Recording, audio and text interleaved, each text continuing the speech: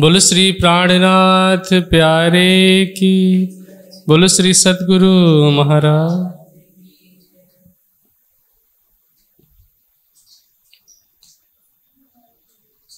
प्राणाधार आत्म संबंधी सुंदर साथ जी। कल की चर्चा में हमने वैष्णव मत के चारों संप्रदायों का वर्णन सुन लिया था, जिसमें से रामानुज मत का वर्णन हमने परसों की चर्चा में सुना। उनके अलावा निमानुज विष्णुश्याम और माधवाचार्य के विषय में कल सुना। साथ में दस नाम सन्यासियों के मत में से जिनकी सात मान्यताएँ हैं और दस नाम हैं उन दसों नामों का अर्थ हमने समझा कि तीर्थ, आश्रम, वन, आरण्य, गिरी, पर्वत, सागर, पुरी, भारती और सरस्वती। इन सब का भिन्न भिन्न अर्थ क्या है? सन्यासी किसे कहते हैं? सन्यास किसे कहते हैं? कर्मों का बंधन क्या है? उससे मुक्त होना क्या है? और साथ में हमने प्रारंभ के चार मठों के विषय में, चार मान्यताओं के विषय में सुना। अब आगे पांचवी मन्या के जो आचार्य थे, उन्होंने अपने विषय में बताया। कहते हैं, पांचवी मन्या जो कही, ऊर्ध्वा ताको नाम। जो प्रारंभ के चार मत हैं वो उन सन्यासियों के द्वारा बनाई हुई है, जो किसी न किसी प्रकार से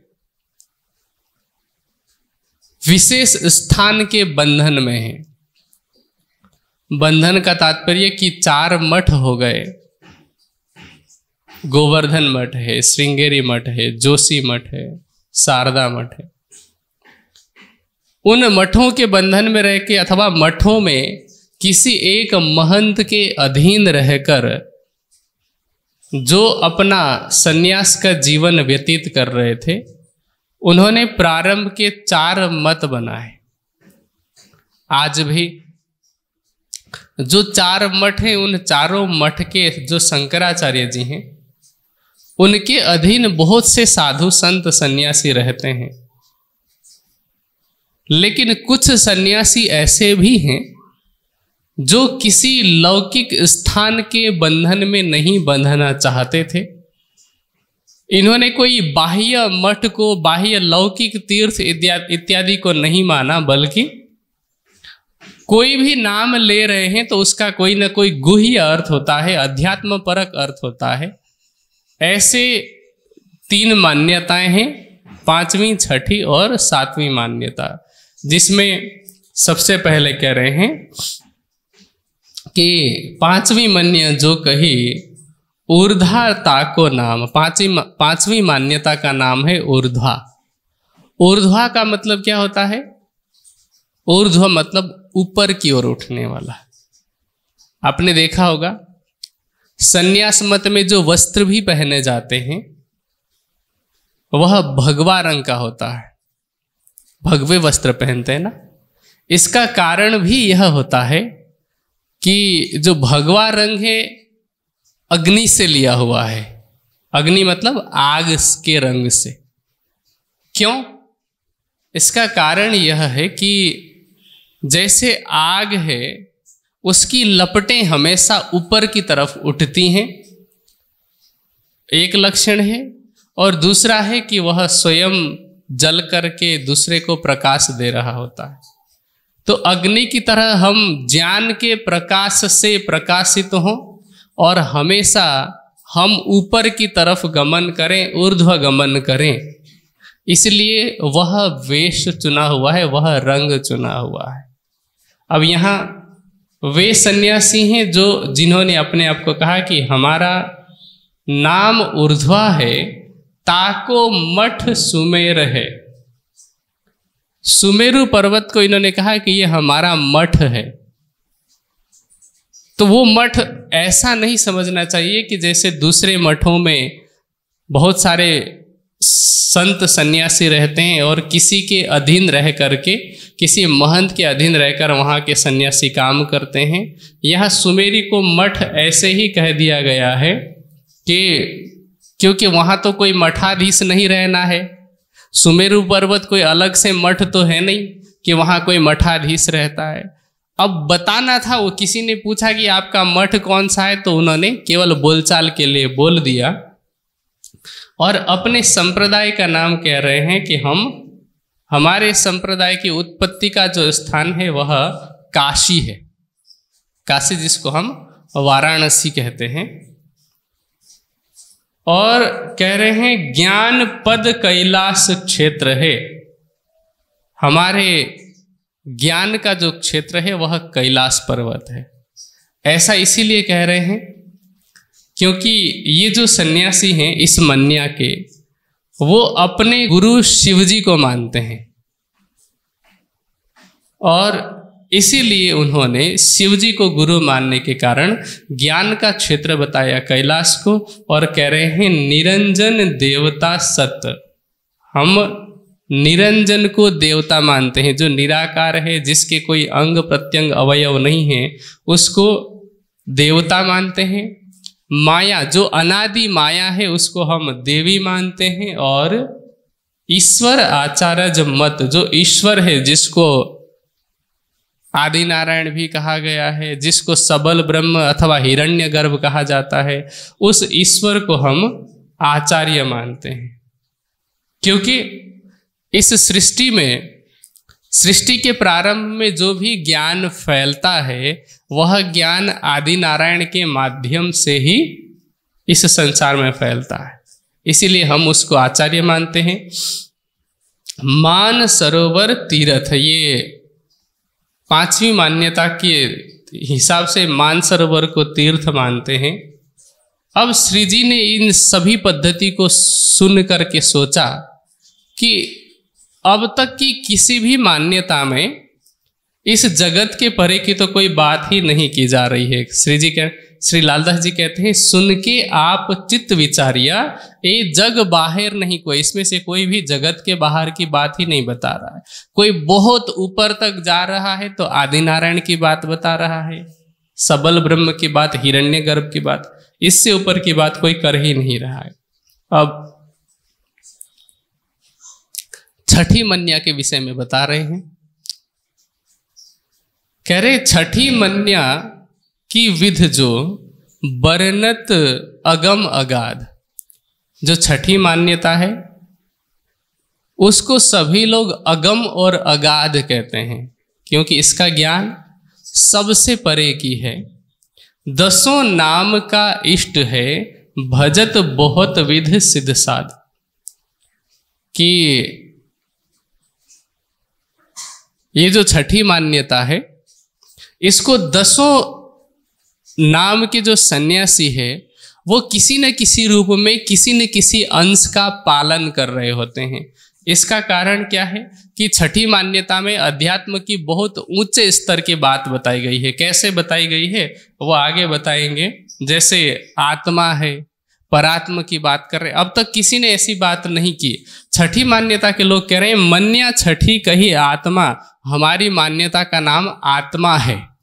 और मठ पर आत्म मूल, हम अपना मठ किसको बताते हैं? जो आत्मा का मूल परात्म है, उसी को हम अपना मूल बताते हैं और कह रहे हैं, सत संतुष्ट कही संप्रदा, जोग पद परे न भूल। कह रहे हैं कि जो योग का पद है, पद मतलब रास्ता, मार्ग। हम योग के मार्ग को कदापि नहीं छोड़ सकते, जिस पर चलकर व्यक्ति वास्तव में अपने वास्तविक आनंद को सत सत संतुष्ट मतलब सच्चे आनंद को प्राप्त कर सकता है, वह योग का मार्ग हमारा है। अब क्योंकि सन्यास में कोई भी व्यक्ति होगा, वह योग को अवश्य ही मानेगा। तो इसलिए छठी मन्या के आचार्यों ने कहा कि हमारा मत तो किसी न किसी रूप में दसों मान्यताओं का मूल है। आज दुनिया में चाहे कोई भी व्यक्ति हो, जो थोड़ा बहुत भी सनातन के विषय में जानता होगा, चाहे किसी भी संप्रदाय को मानता होगा, वह योग को अवश्य मानता ही है। और जिस सिद्धांत में योग का प्रचार नहीं है यहाँ योग का मतलब मैं केवल आसन प्राणायाम की बात नहीं कर रहा। आगे जब योग दर्शन का विषय आएगा तो वहाँ हम योग को अच्छे से समझेंगे। तो जिस मत में किसी न किसी रूप में योग की प्रधानता नहीं है अथवा योग का प्रचार नहीं है, ध्यान का प्रचार नहीं है तो उस मत को लोग समझते हैं कि ये तो ऐसे ही कोई आडंबर चला रहा चाहे किसी भी मत को देख लीजिए। हर विशेष मत में ध्यान के विषय में बताया ही गया है। तो इसीलिए कहीं ना कहीं सभी लोग कह रहे हैं कि इस छठी मान्यता से जुड़े हुए हैं। नाभिक क्षेत्र परमहंस देवता, हम नाभि को क्षेत्र मानते हैं। मुंडक उपनिषद में एक प्रसंग आता है जिसमें नाभि को बताया गया है कि पूरे शरीर में जितनी भी नाड़ियाँ हैं, उन सभी नाड़ियों का केंद्र नाभि है। वैसे भी देखा जाए तो आप जैसे भौतिक विज्ञान के हिसाब से भी देखते हैं तो जो हमारा नाभि है, वो सेंटर ऑफ़ ग्रेविटी है, जिसको हम गुरुत्वाकर्षण का केंद्र कहते हैं। और आप बायोलॉजी के हिसाब से देखें बायोलॉजी मतलब जो स्कूल में पढ़ाई जाती है, उस हिसाब से नहीं। जो शरीर की संरचना है, उसके हिसाब से देखें तो सभी नाड़ियों का जो केंद्र है, वह नाभि को माना गया है और उसका ध्यान करने की बात मुंडक उपनिषद में बताई गई है। तो यहाँ उस नाभि को क्षेत्र मान रहे हैं और कह रहे हैं कि परमहंस अवस्था जो है, वह हमारा देवता है। परमहंस देवता। अब हम हंस और परमहंस की बात करते हैं, ये क्या है वास्तव में? एक तरफ़ हम कहते हैं कि परमहंस तो केवल ब्रह्म सृष्टियों को कहा जा सकता है। बीतक में भी एक प्रसंग में चौपाई आती है, नदी किलकिला तीर पे उतरे परमहंसाए तीन में सिरदार अक्षरातीत देख अपना ठौर सुख पाए। तो परमहंस का तात्पर्य क्या होता है? देखिए, योग की सात अवस्थाओं में जो सर्वोच्च अवस्था है, वह परमहंस की अवस्था है। लोक व्यवहार में जो लोग सात अवस्थाओं में से पांचवी अवस्था तक भी पहुँचे होते हैं, उनके विषय में दुनिया ये राय बना लेती है कि ये परमहंस अवस्था में पहुँच चुके हैं। क्योंकि व्यवहारिक दृष्टि से तो कोई भेद नहीं होता, जैसे जो पांचवी अवस्था है, उस पांचवी अवस्था को कैवल्य अवस्था अथवा विदेही अवस्था भी कहा जाता है। भूमिका सात कही वशिष्ठे तामे पांचवी केवल विदेही। छठी को शब्द न पहुँचे ही तो सातवीं दृढ़ क्यों हुई? छठे सातवीं के विषय में कोई बता ही नहीं पाता है। हंस अवस्था परमहंस अवस्था के विषय में कोई बता नहीं पाता है, क्योंकि जो उस अवस्था में पहुँच जाता है, वो बताने लायक नहीं रहता है। वो उस आनंद में इतना डूब जाता है। और जो नहीं पहुँचा है उसको मान लीजिए बता भी दिया जाए तो कोई कैसे समझेगा? जैसे, कोई गूँगा व्यक्ति है, उसे आप गुड़ खिला दें और पूछें कैसा है? कैसे बताएगा वो? नहीं बता सकता ना? वो चटखारे मार सकता है। अगर उसको स्वाद अच्छी लगी तो जीभ से आवाज़ निकाल करके चटखारे मार सकता है ऐसे। और चेहरे का जो एक्सप्रेशन है वो बदल सकता है। या फिर हाथ से दिखा सकता है कि अच्छा लगा। पर ये कौन सा स्वाद है? ऐसा अगर कोई कर रहा है, आप क्या समझेंगे? अगर पहली बार आप में से किसी ने भी गुड़ ना खाया हो और कोई दूसरा गूँगा व्यक्ति आपको बता रहा है कि ऐसा है, खाओ खाओ, आप क्या समझेंगे? कोई भी स्वाद हो सकता है ना? किसी को नमकीन में ऐसा लग सकता है, किसी को मीठे में, किसी को खट्टे में, किसी को तीखा में। तो बता पाना संभव नहीं है इसी तरह से। ये जो विदेही अवस्था, हंस अवस्था, परमहंस अवस्था, ये समाधि की उन अवस्थाएँ हैं, वे अवस्थाएँ हैं, जिनमें तीन अलग अलग भेद हैं अलग अलग कैटेगरी हैं। समाधि की अलग अलग अवस्थाएँ हैं। कहने को हम समाधि कह देते हैं। उसमें एक तो हो गया सामान्य रूप में कि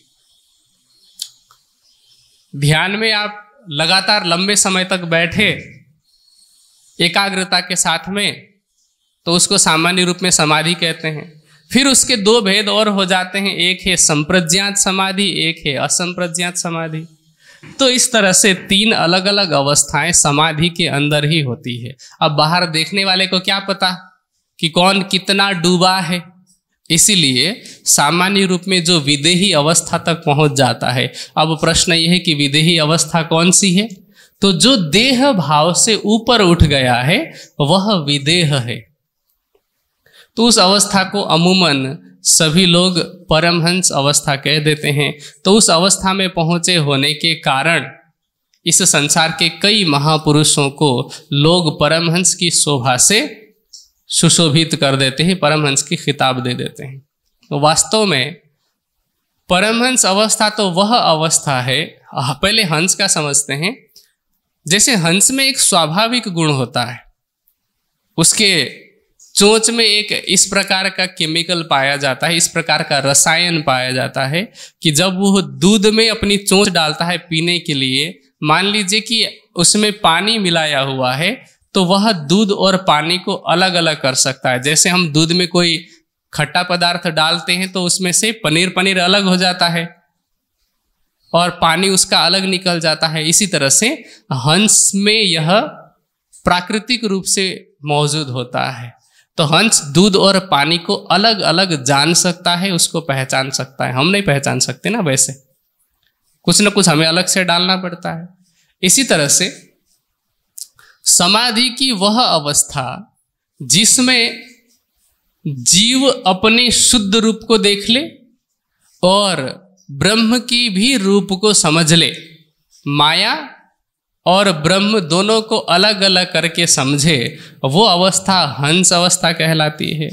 और जब जीव ब्रह्म में पूरी तरह से, जीव का मतलब यहाँ साधक से है, योगी से योगी जब ब्रह्म में पूरी तरह से डूब जाए, जिस अवस्था में जाकर के ऋषियों ने ये बात कही कि अहम ब्रह्मास्मि तो उस अवस्था में डूबी हुई जो अवस्था है, वह अवस्था परमहंस की अवस्था है। लेकिन परमहंस की अवस्था तब तक है जब तक डूबा हुआ है।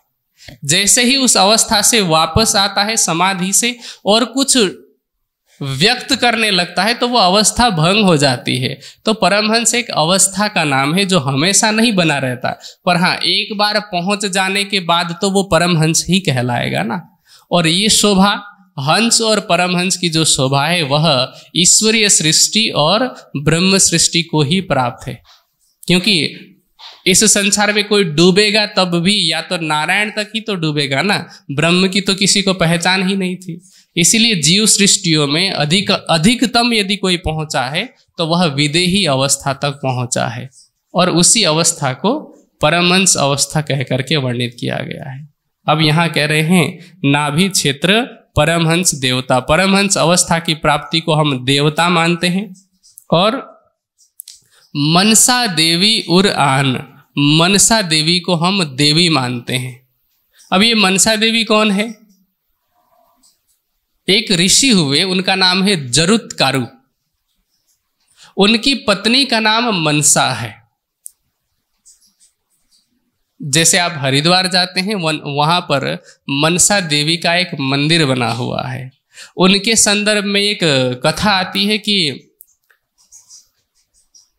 पूरी कहानी संक्षेप में मैं आपको बता रहा हूँ, क्योंकि मैंने कहीं पढ़ा नहीं, मैंने किसी के मुख से सुना है कि एक बार जो ऋषि थे, जरुत्कार ऋषि, वो मनसा देवी की गोदी में सिर रख करके लेटे हुए थे, सो रहे थे।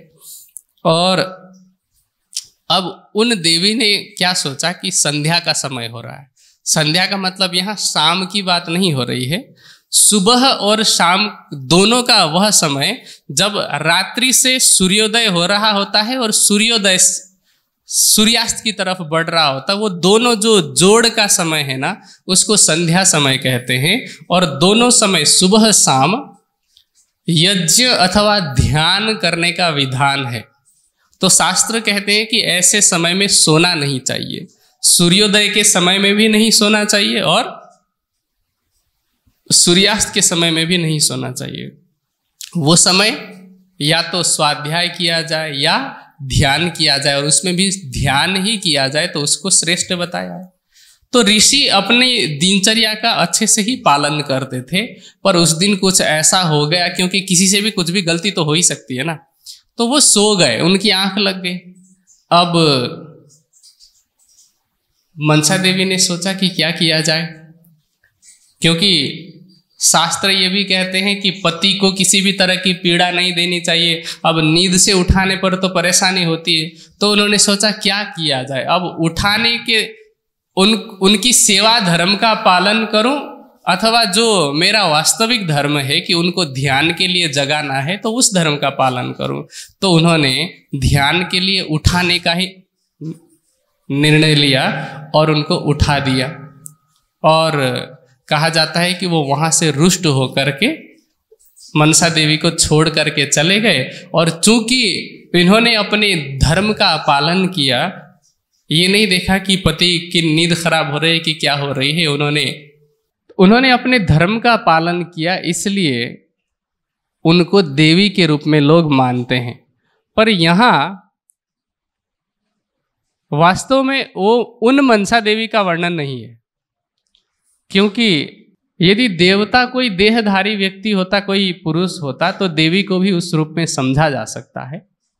पर जब देवता ही कोई व्यक्ति विशेष नहीं है, परमहंस अवस्था विशेष को उन्होंने देवता माना तो यहाँ मनसा देवी का मतलब है मानसिक शक्ति से।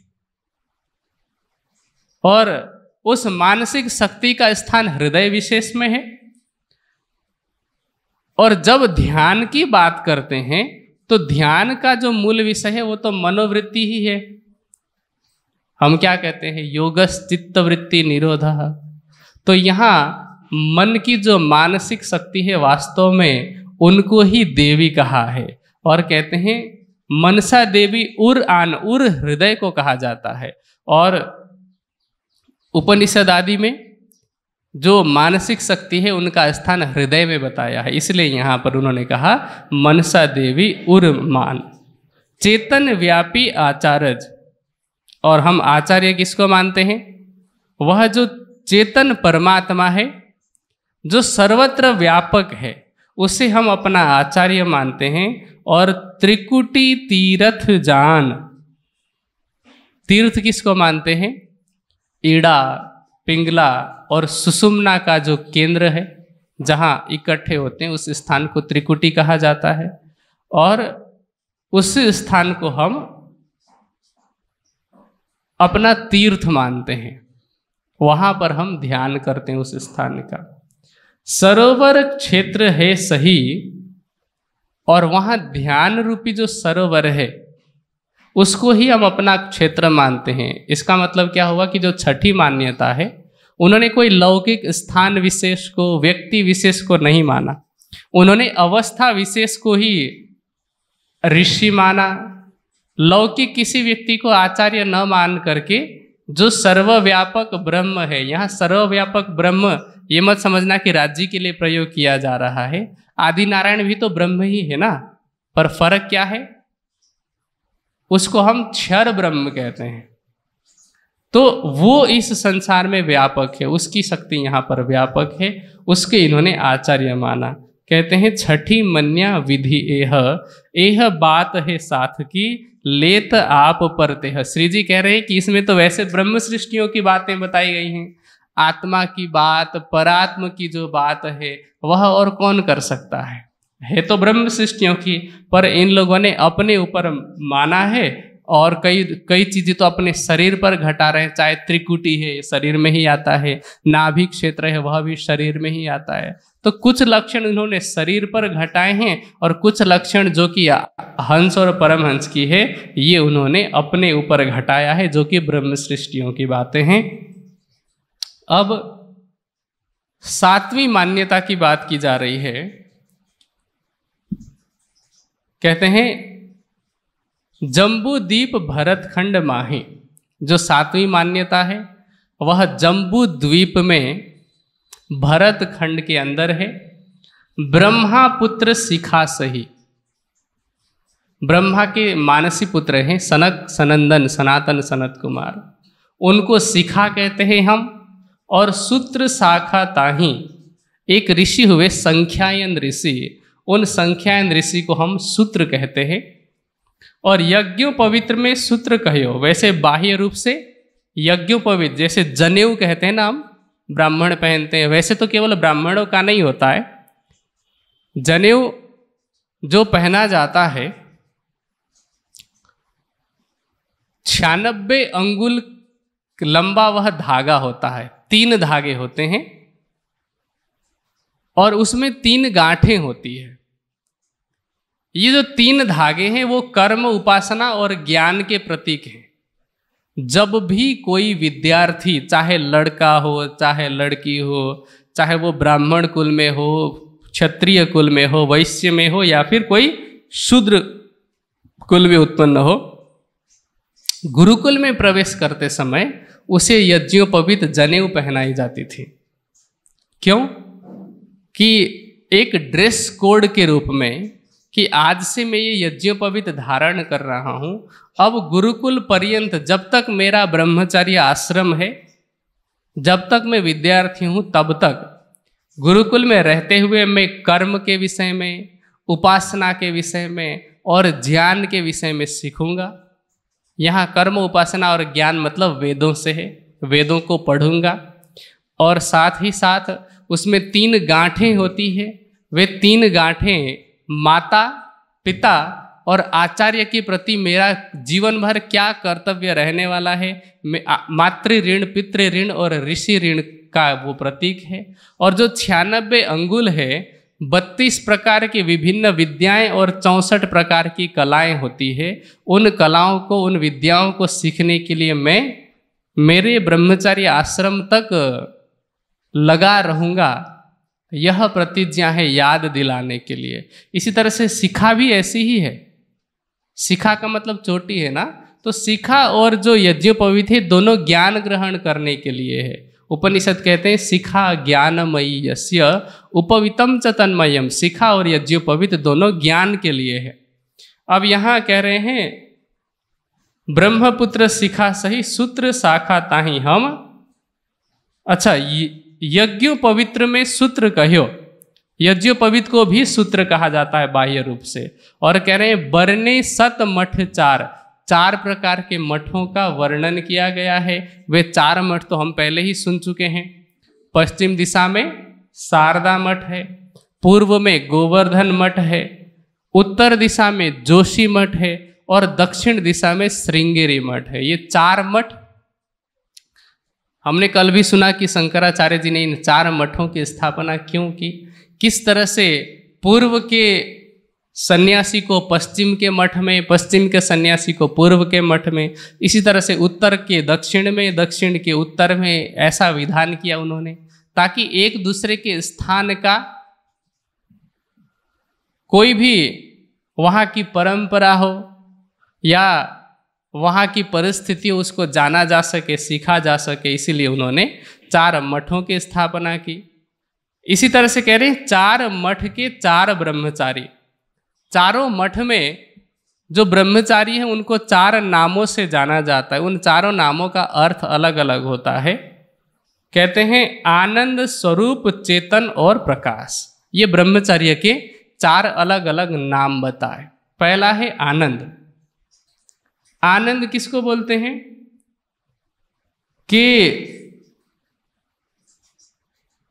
जो ब्रह्मचर्य का पालन करे और उस पालन से वह शाश्वत आनंद की कामना करे। शाश्वत आनंद किसमें है?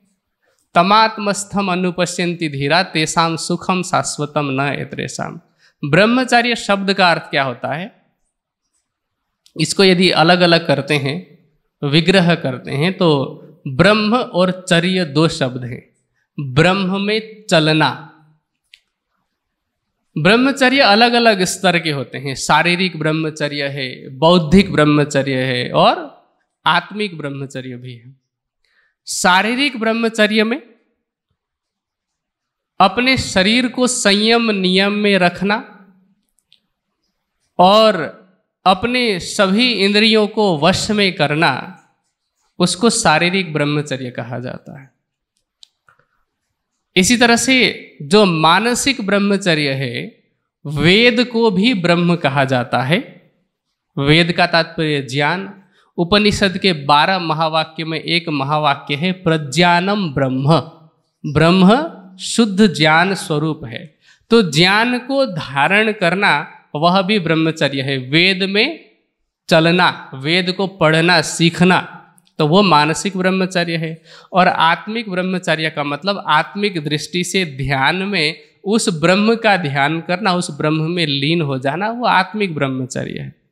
तो जो ब्रह्मचर्य का पालन करते हुए अपने शाश्वत आनंद की कामना करता है, उसको कहा जाता है आनंद। उसके बाद आता है स्वरूप। जो ब्रह्मचर्य का पालन करने से अपने आत्म स्वरूप में स्थित होना चाहता है, उसे स्वरूप कहा जाएगा। और जो ब्रह्मचर्य का पालन करते करते ब्राह्म, ब्रह्म के भाव में अथवा ब्राह्मी भाव में डूबकर इस जड़ शरीर के मुँह से ऊपर उठ जाता है, उसे चैतन्य कहा जाता है। और जो ब्रह्मचर्य के पालन से शाश्वत ज्ञान का प्रकाश पाने का प्रयास कर रहा है, उसे प्रकाश कहा जाता है। तो आनंद स्वरूप, चेतन और प्रकाश, ये चार प्रकार के ब्रह्मचारी हैं और कह रहे हैं, हंस, परमहंस, बोध, कुटीचर, सप्तमठ, मन्या जास।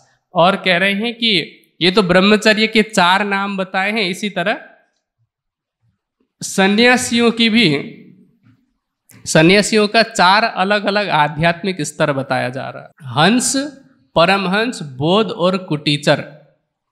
वैसे ये थोड़ा क्रम अलग अलग है। वैसे देखा जाए नीचे से ऊपर के क्रम में तो सबसे पहले आता है कुटीचर। कुटीचर किसको बोलते हैं? शायद आप लोगों ने सुना होगा, नहीं सुना होगा, पर कभी कभी कहीं कहीं पर ऐसे लोग देखने को मिलते हैं कि अभी उसने पूरी तरह से संन्यास नहीं लिया है। पर विरक्ति की अवस्था है, वैराग्य की अवस्था है। तो अपने घर से थोड़ी दूरी पर कुटी बनाकर रहने लग जाता है। ये सन्यास धारण करने से पहले की अवस्था है। तो कुटी बना करके रहने लगता है, वहीं पर अध्ययन इत्यादि करते हैं और साधना में लगे रहते हैं। फिर जब कोई अवस्था आ जाएगी, सन्यास ले लेंगे। पर जो अभी घर त्याग नहीं किया है, क्योंकि सन्यासी तो घर पूरी तरह से छोड़ देता है ना, गाँव से भी अलग होना पड़ता है। जब व्यक्ति सन्यास धारण कर लेता है, उस समय शिखा को भी छोड़ना पड़ता है, जो चोटी होती है ना। सन्यासी लोग चोटी नहीं रखते, ये तो ब्रह्मचर्य आश्रम में गृहस्थी भी रखते हैं, पर सन्यासी चोटी नहीं रखते। हैं तो अभी शिखा का भी त्याग नहीं किया है, सूत्र का भी त्याग नहीं किया है, और अपने घर के पास में ही कुटी बना करके रहते हैं। हाँ वस्त्र भगवा पहनना शुरू किया है, हाथ में कमंडल है, दंड है, केवल शिखा और सूत्र अभी है। तो ऐसे जो साधु हैं, वह पहली अवस्था है उनको कहा जाता है कुटीचर। फिर दूसरे हैं बहुदक, जिसको बोध कहा है। बहुदक किसे कहते हैं? वे भिक्षा मांग करके अपना गुजारा करते हैं और उन्हें सात घरों से भिक्षा मांगने की अनुमति होती है। कितने? सात घर से। यदि मान लीजिए कि कोई बहुधक अवस्था में है और बस्ती में वो रह नहीं सकता, जंगल के आसपास घर बना करके रहना होता है, कुटी बना करके, सात घरों में गए, किसी कारण से पहले घर में भिक्षा नहीं मिली, दूसरे में नहीं मिली, सात में से किसी न किसी में मिल गई तो गुजारा हो गया। लेकिन यदि किसी दिन क्योंकि हमें तो नहीं पता होता ना, मान लीजिए कि हमारे घर में कोई इस तरह का साधु आता है, किसी कारण से हमने उसको नहीं दिया। और यह भी हो सकता है कि हमारा घर सातवां हो तो वो आठवें घर से भिक्षा नहीं मांगेगा। उस दिन वो भूखा रह जाएगा, पर भिक्षा नहीं मांगेगा। उस अवस्था के जो साधु होते हैं, वैरागी विरक्त होते हैं, उनको बहुदक कहा जाता है। और जो अपनी विषय वासनाओं का त्याग करके अपने आत्म स्वरूप में स्थित होते हैं, उनको हंस कहा जाता है। और जो त्रिगुणातीत अवस्था में पहुंचकर अपनी परात्म को देख लेते हैं, अथवा अपनी परात्म की अवस्था को प्राप्त करते हैं, उन्हें परमहंस कहा जाता है। तो ब्रह्मचर्य के चार अवस्था हो गई। इसी तरह से सन्यास की चार आध्यात्मिक स्तर हो गए। तो ये सात मठ है, कह रहे, सप्त मठ मन्या जास, सात मठों की ये मान्यता है। इस तरह से कह रहे, सातों मठ के सन्यासी बोले सबे विचार, उपदेश बोध दीक्षा कहे अपनी, सो देखो तौल निर्धार। इस तरह से सातों मठों के आचार्यों ने श्री जी को अपने विषय में बताया कि अपनी अपनी जो पद्धति थी वो सुनाई। और सारी पद्धति सुनने के बाद श्री जी ने क्या कहा कि एक छठी मान्यता के अतिरिक्त और किसी ने भी अखंड अथवा संसार से परे की बात नहीं की है और छठी मन्या में से भी केवल आत्मा और परमा परात्म शब्द को निकाल दिया जाए तो उसके अलावा सभी इस जगत की ही है अथवा नारायण तक की ही बात की है। इसलिए अब इन सातों मान्यताओं, दस नाम सन्यासियों से भी आगे बढ़ते हैं और अब बात करते हैं छह दर्शन के आचार्यों की। दस नाम सन्यासी भी पीछे हट गए, अपनी मान्यता बताकर। अब अगला जो प्रकरण है, इस प्रकरण में छह दर्शन के विषय में बताया है। दर्शन किसको कहते हैं? कहते हैं, दृश्यते अनेन इति दर्शनम। जिसके द्वारा देखा जाए, उसे दर्शन कहते हैं। यहाँ देखने का तात्पर्य अनुभव करने से भी है। केवल आँखों से देखना नहीं, हम बोलचाल की भाषा में, जैसे मान लीजिए माताएँ खाना बनाती हैं, और खाना बनाते समय दाल में, सब्ज़ी में नमक कम ज़्यादा हो और चखने के लिए किसी और को देना हो तो हम क्या बोलते हैं कि इसमें देखो नमक कैसा है। देखने से तो पता नहीं चलता है, पर वहाँ चखना है ना, स्वाद लेना है। इसी तरह से यहाँ देखने का तात्पर्य जानने से, लेकिन किसको जानना, किसको समझना? जो पदार्थ है, पदार्थ के वास्तविक स्वरूप को समझना दर्शन का विषय है। अब पदार्थ कौन सा? तो पदार्थ की व्याख्या विभिन्न दर्शन में प्रसंग के अनुसार भिन्न भिन्न है। जैसे बोलचाल की भाषा में, आपसे पूछा जाए, तत्व कितने होते हैं? तो कुछ लोग बोलेंगे, पाँच तत्व होते हैं। पृथ्वी, जल, अग्नि, वायु और आकाश। कुछ लोग आत्म तत्व की बात करते हैं तो वहाँ आत्म तत्व अलग हो गया। परमात्मा तत्व की भी बात करते हैं, वहाँ परमात्मा तत्व अलग हो गया। कुछ लोग योग तत्व कहते हैं, वहाँ योग तत्व का मतलब वहाँ तत्व की परिभाषा अलग हो गई। अच्छा जिन्होंने केमिस्ट्री पढ़ी होगी, उनको पूछा जाए तत्व कितने होते हैं, वो बोलेंगे कि तत्व तो 118 होते हैं। अब कहाँ पाँच तत्व, कहाँ 118 तत्व? फिर उनको पूछेंगे, वो 118 तत्व कौन कौन से? फिर वो अगर पढ़ा होगा तो बताएँगे, हाइड्रोजन है, हेलियम है, लिथियम है। अब ये जितने भी गैसेस है, हम तो बोलेंगे, ये तो वायु तत्व में आ जाता है। तो तत्व की परिभाषा प्रसंग के हिसाब से भिन्न भिन्न है। अब यहाँ दर्शन में हर दर्शन का जो मूल प्रतिपाद्य विषय है, वो भिन्न भिन्न है। उन प्रतिपाद्य विषयों के आधार पर इस दर्शन का तत्व क्या है, वह हम जान सकते हैं। जैसे उदाहरण के लिए, हमने योग दर्शन पढ़ा तो योग दर्शन में किसके विषय में बताया जाएगा? योग के विषय में। अब योग में क्या क्या तत्व है, वो हमें पढ़ के पता चलेगा। सांख्य दर्शन हम देखेंगे, वहाँ पर अलग विषय होगा तो उसके तत्व अलग होंगे। इस तरह से भिन्न भिन्न दर्शनों में भिन्न भिन्न तत्वों की बात की गई है। अब प्रसंग चल रहा है छह दर्शन के आचार्यों का। सभी आचार्य अपने अपने दर्शन को प्राचीन अथवा पुराना साबित करने पर लगे हुए हैं। वास्तविकता ये है कि कोई भी ज्ञान केवल पुराना हो जाने मात्र से सही नहीं होता है। सत्य को जानने का अलग अलग मापदंड है, उसको जानने के अलग अलग तरीके हैं। केवल पुराना कह देने मात्र से वह सिद्ध नहीं हो जाता। अब वैसे देखा जाए तो इस संसार में जितने मत मतांतर पद्धतियाँ हैं, या जो भी आचार संहिता अथवा आचार पद्धति है, वो तो बहुत नई है। और देखा जाए तो जो राक्षसों की पद्धति है, आप देखेंगे त्रेता युग में भी राक्षसों का वर्णन मिलता है, सत्य युग में भी मिलता है, द्वापर युग में भी मिलता है। अब उनका जो सिद्धांत है हिंसा वाला केवल पुराना हो जाने मात्र से उसको सही थोड़ी मान लेंगे हम। केवल पुराना हो जाना किसी के सत्य होने का परिचायक नहीं होता है।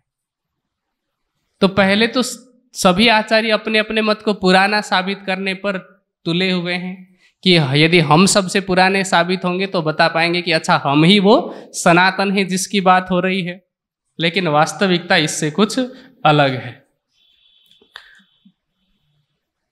जैसा कि हम शुरू से ही सुनते आ रहे हैं कि महाभारत काल के बाद जैसे जैसे ज्ञान का लोप होता गया वैसे वैसे ही ज्ञानियों की संख्या कम होती गई। पहले गुरुकुल में जाकर के लोग चारों वेद पढ़ते थे, वो भी अंग और उपांग के साथ में। अंग में जैसे छह दर्शन हो गए और जैसे उपांग हैं शिक्षा, कल्प, छंद, निरुक्त, ज्योतिष, व्याकरण इत्यादि। ये सभी पढ़ लेते थे और हर एक व्यक्ति ये पढ़ा होता था। और धीरे धीरे कुछ जो स्वार्थी ज्ञानी थे, उन्होंने लोगों को अज्ञानी बनाने पर ज़ोर दिया ताकि हमारा स्वार्थ सिद्ध हो सके। तो चारों वेदों से होते होते वेदों का अध्ययन रुक गया। फिर लोग उपनिषद तक पहुँचे। फिर कुछ समय के बाद में कालांतर में उपनिषद पढ़ाया जाना भी बंद हो गया। फिर धीरे धीरे पुराणों की रचना होने लगी। इसी तरह से दर्शन में भी सभी लोग छह दर्शन को पढ़े होते थे। अब प्रश्न ये होता है कि आप में से कई बार लोगों का प्रश्न होता है, वैसे तो सुंदर साथ में तो सबकी रुचि होती नहीं है दर्शन की तरफ़ सुंदर साथ को लगता है हमें वाणी मिल गई है, हमें और चीज़ों की क्या ज़रूरत? ये तो स्वप्निक बुद्धि का ज्ञान है, इनमें भला क्या ही लिखा है? वास्तविकता ये नहीं है। वाणी कहती है, जिन जानो शास्त्रों में नहीं है, शास्त्रों में सब कुछ। शास्त्रों में है, हमारी रुचि नहीं है, सो अलग है। तो किस किसी की थोड़ी सी रुचि होती है तो वो पूछते हैं कि हमें कौन सा दर्शन पढ़ना चाहिए? कौन सा दर्शन सबसे अच्छा है? अब इसका उत्तर कैसे दिया जाए? तो मैं उनको बोलता हूँ कि जैसे आपको कोई बीमारी है या बीमारी न भी हो और आपको पूछा जाए कि कौन सा डॉक्टर सबसे अच्छा है? मेडिकल का कौन सा विभाग सबसे अच्छा है, आप क्या बोलेंगे? वो तो आपकी बीमारी पर निर्भर करता है ना? अब किसी को त्वचा से संबंधित परेशानी होगी तो वह जाएगा त्वचा रोग विशेषज्ञ के पास। स्किन स्पेशलिस्ट होते हैं ना, जिसको हम डर्मिटोलॉजिस्ट बोलते हैं। दांत की परेशानी होगी तो डेंटिस्ट के पास जाएगा। हृदय से संबंधित परेशानी होगी तो कार्डियोलॉजिस्ट के पास जाएगा। ऑपरेशन कराना होगा तो किसी न किसी सर्जन के पास जाएगा। सामान्य दवाई चाहिए होगी तो जनरल फिजिशियन के पास जाएगा। इसी तरह से शरीर के अलग अलग अंग के आधार पर उन अंगों के डॉक्टर्स की महिमा होती है, महत्व होता है। इसी तरह से और यदि किसी ने पूरे शरीर को पढ़ लिया है अथवा कोई ऐसा डॉक्टर बन जाए, मान लीजिए, वैसे तो बहुत ही मुश्किल काम होता होगा कि एक ही डॉक्टर है जो नाक कान गला रोग विशेषज्ञ भी है। जो हृदय रोग विशेषज्ञ भी है, सर्जन भी है, डेंटिस्ट भी है, मुझे नहीं लगता कि कोई ऐसा है। यदि हो भी, तब भी बहुत मुश्किल है, पर जो सबको जान लेगा तो वो समझेगा ना कि सबका अपना अपना महत्व है। इसी तरह से छह दर्शन भी कुछ ऐसे ही हैं। सब एक दूसरे के पूरक हैं। सब मिलकर के कोई विषय पूरा होता है। महाराजा छत्रसाल जी ने एक प्रसंग में बहुत अच्छा समझाया है। वो कहते हैं, खट दर्शन, छठ अंधन को हाथी। जो छह दर्शन है ना, ये छह अंधों के हाथी के समान है। किस तरह से? कहते हैं, एक गाँव में हाथी आया। सब लोग उसको देखने के लिए जाने लगे, हल्ला मचाते हुए। तो उसी गाँव में एक घर में कुछ अंधे भाई रहा करते थे। तो उन्होंने कहा, मुझे भी हाथी देखने जाना है, हमें भी हाथी देखने जाना है। माता जी को कह रहे कि माता जी हमें हाथी देखने जाना है। तो माता जी ने कहा, जाओ। तो वे जो लड़के थे, वो भी उस आवाज़ को सुनते हुए चले गए जहाँ भीड़ जा रही थी। अब किसी से पूछा कि, हाथी कहाँ है, बता दो। तो ले गए हाथी के पास। अब सब लोग छू रहे हैं हाथी को। अंधे हाथी को कैसे देखेंगे? छू करके। अब सब लोग अलग अलग अंगों को छू रहे हैं। कोई सूंड को पकड़ रहा है, कोई पूंछ पकड़ रहा है, कोई पैरों को ऐसे करके लपेटने की कोशिश कर रहा है, कोई उसके पीठ पर हाथ फिर, फिरा रहा है, कोई कान की तरफ़ हाथ लगा रहा है। तो अब उन भाइयों में से एक भाई ऐसा था जो देख पाता था। सब लोग वहाँ से घर चले गए। माता ने पूछा, हाथी कैसा था? अब जिसने सूण पकड़ा, वो कहता है कि माँ, हाथी तो एक मोटे लठ की तरह था। फिर जिसने पूंछ पकड़ी, वो कहता है, हाथी रस्सी की तरह था। जिसने पैर पकड़े, वो कहता है, हाथी तो हमारे घर के खंबे की तरह था। जिसने पीठ पर हाथ फेरी, वो कहता है कि हाथी तो दीवार की तरह था खुरदरा सा जिसने कान पकड़ी, वो कहता है कि वो जिससे हम गेहूँ वगैरह साफ़ करते हैं ना, क्या बोलते हैं यहाँ पर? छाछ बोलते हैं, गुजरात में सुपड़ा बोला जाता है उसको। तो उस छाछ की तरह था। अब जिस, जो देख पाता है, वो क्या कह रहा है कि माँ, ये सब लोग अलग अलग अंगों की बात कर रहे हैं। जो छाज जैसा है, वो कान है उसका। अब माता कल्पना करेगी ना कि अच्छा कान इसके बड़े बड़े से हैं। जो लठ जैसा है वो सूंड है, जो बड़े खंबे जैसा है वो पैर है, दीवाल जैसी है वो पीठ है, रस्सी जैसी पूंछ है, इस तरह से अलग अलग अंगों अंगों का वर्णन किसने किया जो देख पाता है। इसी तरह से सृष्टि के बनने के, जैसे हाथी के अलग अलग अंग हो गए, इसी तरह से इस सृष्टि को बनने के कारणों की व्याख्या में छह दर्शन लिखे गए। छह कारण हैं। कारणों की व्याख्या में छह दर्शन लिखे गए। अब उन छह दर्शनों का विषय अलग अलग हो गया। जैसे छह कारण कौन कौन से? मुख्य रूप से तीन कारण होते हैं। एक होता है निमित्त कारण, एक होता है उपादान कारण और एक होता है सामान्य कारण। इसको थोड़ा समझते हैं, थोड़ा दर्शन को। वैसे किसी को थोड़ी बोरियत सी हो रही है, पर मुझे इस विषय में बहुत आनंद आता है। तो निमित्त कारण, उपादान कारण और सा, साधारण कारण है। अब मैं आपको समझाता हूँ एक एक चीज़ मुझे लगता है सब लोग समझ पाएँगे। रसोई में तो सभी काम करते ही हैं। जैसे रोटी बनाना है तो रोटी बनाने में जो जो भी सामान लगते हैं ना वो निमित्त वो कारण है उपादान कारण। जैसे आटा लगता है पानी उसके बाद चकला बेलन चूल्हा सिलेंडर, तवा, चिमटा, ये जितने भी पदार्थ लग रहे हैं।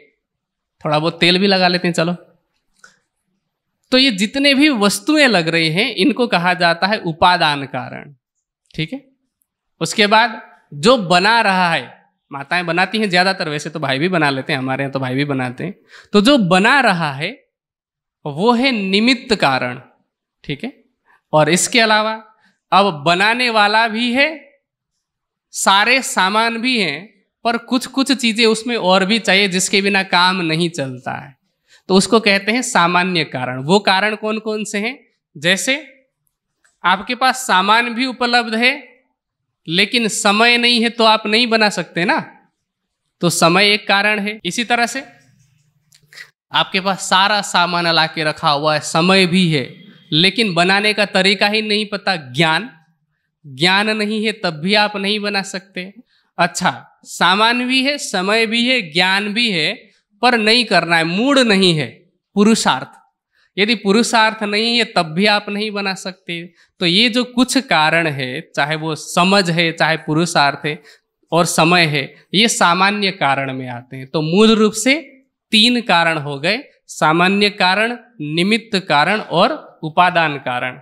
और इन्हीं की व्याख्या में छह दर्शन हैं, जिसमें तीन दर्शनों के अंदर सामान्य कारणों की व्याख्या है और फिर एक में निमित्त कारण है और एक में उपादान कारण, चार में सामान्य कारण है। अब जब हम दर्शन पढ़ने लगते हैं, यदि आपको सच में पढ़ना है और आपको ये समझना है कि ये जो छह अलग अलग अंग बताए हैं ना सूढ़ क्या है पूछ क्या है, वो समझना है तो आपको मीमांसा दर्शन से शुरुआत करनी चाहिए। मीमांसा का अर्थ क्या होता है? जानने की इच्छा, जिज्ञासा।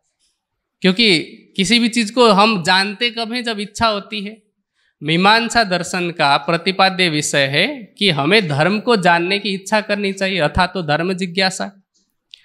तो वहाँ से शुरुआत करके जानने के लिए आप निकले और उसके बाद अंतिम जो लक्ष्य है वो कौन है हमारा? हमारा अंतिम लक्ष्य कौन है?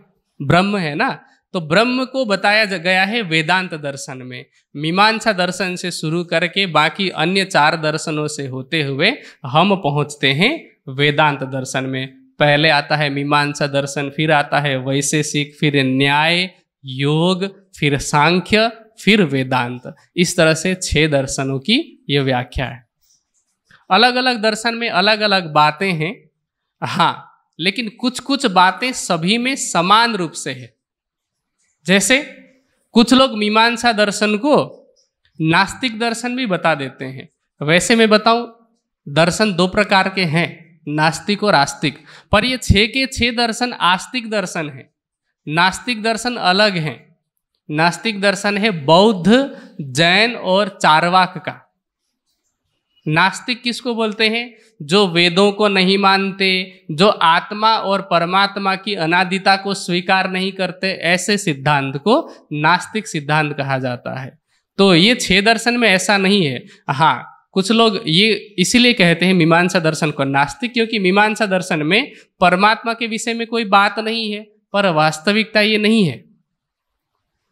वास्तविकता ये है कि मीमांसा दर्शन का प्रतिपाद्य विषय परमात्मा है ही नहीं। उसका प्रतिपाद्य विषय तो है धर्म। अथा तो धर्म जिज्ञासा, धर्म को जानने की इच्छा करनी चाहिए। धर्म क्या है, ये सारी बात उसमें बताई है। जो मीमांसा दर्शन वेदों का उदाहरण दे रहा है, उसको हम नास्तिक नहीं कह सकते। कोई भी दर्शन जिसमें वेदों का उदाहरण है, उसको हम नास्तिक कह ही नहीं सकते। अब मान लीजिए कि आप किसी आर्ट की टीचर के पास चले गए, जो ड्राइंग करते हैं बहुत अच्छे से। और हो सकता है उसमें इन्होंने पीएचडी भी कर रखी हो। अब आर्ट में केवल ड्राइंग करना ही नहीं होता ना, उसमें कला के संदर्भ में बहुत सारी किताबें हैं, ग्रंथ हैं। अब वो सब उनको याद है। आप उनके पास जा कर के कोई मेडिकल लाइन का प्रश्न पूछ रहे हैं, जो उनको नहीं आ रहा है और आपने कह दिया कि अरे, ये तो अज्ञानी है। ये तो ऐसे ही बात होगी, क्योंकि ये उनका विषय नहीं है। मीमांसा दर्शन का विषय ब्रह्म है ही नहीं। मीमांसा दर्शन का विषय है धर्म। धर्म किसे कहते हैं? ठीक है? तो इसीलिए उसमें ब्रह्म की व्याख्या नहीं है, पर वेद का उदाहरण होने से इस दर्शन को हम आस्तिक दर्शन ही मानेंगे। तो इस तरह से ये छह दर्शन है।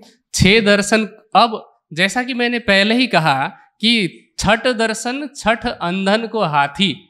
छह दर्शन अंधों के हाथी की तरह है। हाथी के अलग अलग अंगों के विषय में कौन बता सकता है जिसकी आँखें हो? हमारे पास आँखें कौन सी है? राज जी ने हमें तारतम वाणी के रूप में वो आँखें दी हैं, जो हमें ये बताती है कि दर्शन की वास्तविकता क्या है। सुंदर साथ के पास तो अभी बहुत अच्छा मौका है। आपने शायद मुझे नहीं लगता कि कभी सत्यांजलि को सीरियस लेकर के पढ़ा है। आप कभी सत्यांजलि खोल करके देखिए, ब्रह्मांड रहस्य खोल करके देख लीजिए। वहाँ पर दर्शनों की बहुत सारी बातें हैं। सत्यांजलि और ब्रह्मांड रहस्य में विशेष रूप से सांख्य दर्शन और वैशेषिक दर्शन की बहुत सारी बातें आपको मिलेगी। आप निजानंद योग और ध्यान की पुष्पांजलि खोल करके देखिए, वहाँ योग दर्शन की बहुत सारी बातें मिलेंगी। तो दर्शन का हमारे पास प्रकाश है और ये हम क्यों, कैसे कर पा रहे हैं? क्योंकि राज जी ने हमें वाणी में सब कुछ दे रखा है। ये सब तो कहीं ना कहीं ताला है ना? तारतम ज्ञान रूपी चाबी देकर के राज जी ने हमें भेजा है, जिससे हम दुनिया को बता सकते हैं कि दर्शन में क्या लिखा हुआ है। आज जिनके पास तारतम ज्ञान नहीं भी है, वह भी केवल शब्द ज्ञान के आधार पर और जो कुछ व्यवहारिक ज्ञान प्रचलित है, उसके आधार पर ही दर्शन की ऐसे व्याख्या करते हैं कि करोड़ों में उनके अनुयायी हैं। आपने शायद आचार्य प्रशांत जी का नाम सुना होगा। आप YouTube में जाकर के सर्च कीजिए या फिर वेबसाइट उनकी देखिए। उनके एक करोड़ से ज़्यादा तो उनके सब्सक्राइबर हैं यूट्यूब में, ठीक है? वो वेदांत की अधिकतर व्याख्या करते हैं। छह दर्शन में से एक वेदांत दर्शन की वो बात करते हैं। इसका मतलब ये नहीं कि वेदांत दर्शन के अलावा और कुछ उनको नहीं आता। है हाँ मूल में वेदांत है, उसके आधार के रूप में वो उपनिषदों की भी चर्चा करते हैं, गीता की भी चर्चा करते हैं। लेकिन तारतम ज्ञान तो नहीं है ना? फिर भी उनके एक करोड़ से ज़्यादा लोग यूट्यूब में जुड़े हुए हैं, ठीक है? अस्सी करोड़ से ज़्यादा लोगों ने उनको देखा है, ठीक है? जो कि आज से लगभग दो तीन महीने पहले का डाटा था, अब तो प्रतिदिन बढ़ता ही जा रहा होगा। और हमारे पास राज्य ने तारतम ज्ञान के रूप में वो बात बताई है, वो चाबी, वो रहस्य खोली है कि यदि हमारे पास भी जैसी टीम उनके पास है, जैसे लोग उनके पास जुड़े हुए हैं, इस तरह से हम भी परिश्रम करें तो हम दुनिया को क्या दे सकते हैं? देखिए, मैं किसी की खंडनी करके निजानंद दर्शन की बड़ाई करना नहीं चाह रहा, लेकिन वास्तविकता यह है कि जैसे बाबा रामदेव जी हैं, किसकी व्याख्या करते हैं, किसकी बात करते हैं? योग की। और योग में कौन से योग की? केवल आसन और प्राणायाम की ही तो बात करते हैं। इसके अलावा और कोई बात नहीं की है? हाँ आयुर्वेद के संदर्भ में थोड़ी बात बता देते हैं, कभी राजनीति के संदर्भ में थोड़ी बात बता देते हैं, लेकिन केवल आसन और प्राणायाम तथा आयुर्वेद के बल पर उनका प्रचार इतना है कि आज मुझे लगता है कि दुनिया के जो सबसे अमीर लोग हैं, उनमें इनका नाम आता होगा, अमीर लोगों में से। सबसे प्रभावशाली लोगों में इनका नाम आता है। पूरी दुनिया में हर एक व्यक्ति जिसके पास मोबाइल या इंटरनेट हो, वो हर कोई व्यक्ति इनको जानता है। और हमें राज जी ने निजानंद योग के रूप में सब कुछ दे रखा है, पर हमारे पास वो प्रस्तुतिकरण नहीं है। हमारे पास वो तरीका नहीं है, हमारे पास वो संसाधन नहीं है। इसीलिए हम पिछड़े हुए हैं। वास्तव में होना ये चाहिए था कि यदि हमने भी उनके जैसा काम किया होता, उनके जैसा परिश्रम किया होता तो आज हम दुनिया को बता रहे होते कि वास्तव में योग ये कहता है, वास्तव में वेदांत दर्शन ये कहते हैं, और वेदांत दर्शन ही नहीं, हम तो हमारे पास तो वेदों का रहस्य भी है। हम स्वसम वेद की बात करते हैं ना, कि हमारे पास वाणी के रूप में स्वसम वेद है, जो चारों वेदों के रहस्य को खोलता है तो हमारे पास सब कुछ है। पर केवल त्याग का अभाव है, बलिदान का अभाव है। आज राज्य की मेहर से हमारे पास भी लगभग सौ से अधिक साहित्य है। यूट्यूब में भी हज़ार से अधिक वीडियोस तो पड़े हुए हैं, पर कहीं ना कहीं संसाधनों का अभाव है, जिस कारण हम दूसरे मतों की तरह प्रगति नहीं कर पा रहे हैं। मैं उनकी गलती नहीं बता रहा हूँ। जितना वो कर रहे हैं, अपने जगह पर शत प्रतिशत सही है। पर हमारे पास जब और ज़्यादा ज्ञान है, हमें, हमारा तो कर्तव्य और बढ़ जाता है ना। हमारा तो उनसे अधिक कर्तव्य है। हमने तो दावा ले रखा है मुक्त देशी ब्रह्मांड को। वो तो केवल अज्ञानता से ज्ञान की तरफ़ ले जाने की बात कर रहे हैं। हम तो मुक्ति देने की बात करते हैं। तो हमें किस तरह से कार्य करना चाहिए, ये सोचने का विषय है। अब क्योंकि छह दर्शनों का विषय है कल हम एक एक दर्शन के विषय में कि अलग अलग जो दर्शन है, उन दर्शनों में क्या क्या बात बताई है। मैंने कहा, सृष्टि के छह अलग अलग कारण हैं, उन कारणों के विषय में हम सुनेंगे। योग के विषय में भी अच्छे से हम जानेंगे। यम, नियम, आसन, प्राणायाम, प्रत्याहार, धारणा, ध्यान, समाधि किसो बोलते हैं? हम तो मंदिर में चले जाते हैं या फिर अपने अपने कमरे में आँख बंद करके पंद्रह मिनट भी बैठे तो हम कहते हैं कि हम ध्यान कर रहे हैं। जबकि वो तो एक तरह से, वो वैसे कुछ भी नहीं है। प्रयास एक हमारा, आसन सिद्धि करने का प्रयास है, जो कि योग के आठ अंगों में से आसन तो तीसरा है, ठीक है? हमें यम का पता नहीं है, नियम का पता नहीं है तो धारणा ध्यान समाधि तक अभी हमने जाना ही नहीं, और बिना जाने, बिना जानकारी की हम कितना भी परिश्रम कर लें, हमारा जो परिश्रम है वो वैसा ही होगा। जैसे मान लीजिए कि आँख में पट्टी बाँध दी जाए और एक कट्टा भर करके छोटे छोटे पत्थर दिए जाए और आपको थोड़ी देर घुमाया जाए और बोल दिया जाए कि आपके पास में एक आम का पेड़ है, उसमें एक ही फल लगा हुआ है, आपको गिराना है। मेहनत तो आप कर रहे हैं। पूरा कट्टा खाली कर दिया, पर पता ही नहीं किस दिशा में आम का पेड़ है। तो तारतम वाणी दृष्टि देती है वो। दृष्टि, वो पट्टी हटाने के बाद तो आप एक ही बार में भी गिरा सकते हैं। तो लोग परिश्रम कर रहे हैं, सुंदर साथ भी परिश्रम कर रहे हैं, पर तारतम ज्ञान रूपी जो दृष्टि है, उस दृष्टि से हम जान सकते हैं। तो कल हम उन छह दर्शनों के विषय में भी सुनेंगे, और यदि समय रहेगा तो फिर हम अपनी पद्धति, निजानंद संप्रदाय की पद्धति के विषय में भी सुनेंगे। अभी समय पूरा होता है, चौपाई दोहरा लीजिए। एह विध खट दर्शन भय तिनके कहूँ प्रमाण। खट आचार्य हैं सही। नाम सुनो तिह ज्ञान। नाम सुनो तिह ज्ञान। बोलो श्री प्राणनाथ, बोलो श्री सदगुरु महाराज। प्रणाम